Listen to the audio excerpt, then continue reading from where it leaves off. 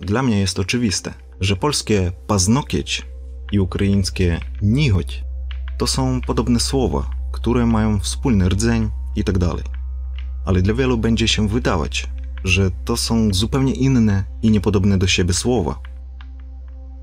Wzajemną zrozumiałość języków. Pojęcie oznaczające taką bliskość różnych języków, że mówiący nimi mogą się porozumieć sam. Takim jest moje zdanie. Być może będziecie zainteresowani. Ja szukałem artykułów naukowych na temat wzajemnej zrozumiałości roz Revo albo Gimper.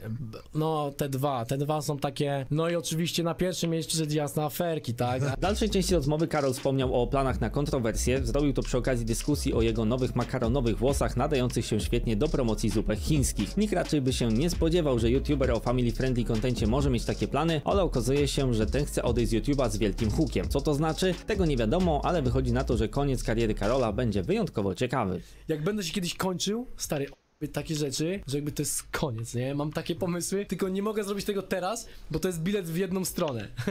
Okej. Ale jakby jest plan. No i mówię tak, nie no, to za moc. Walki to zrobił taki odcinek, że ym, trening mieliśmy, nie? I ja po tym treningu przez dwa tygodnie nie mogłem oddychać, bo śruby, które mam, te pręty są kręcone takimi śrubami, jakby w kręgosłup gdzieś tam, nie? I one przez rotację mi się tak y, naruszyły, wbijały w płuca, że ja nie mogłem złapać oddechu. Więc y, to jest duży minus, przeszkadzający lekko przy trenowaniu. Drugim tematem jest drama pomiędzy Nitro i Freezem. Rozpoczęła się ona we wrześniu ubiegłego roku i poszło zdjęcie na Instagramie. Sergiusz zażartował z wersów, a Freeze napisał do niego prywatną wiadomość, której zaoferował silne przyłożenie swojej dłoni do policzka youtubera. Wychodzi na to, że od tamtej pory panowie się nie pogodzili, ale w rolę mediatora wcielił się Boxdel. Posta-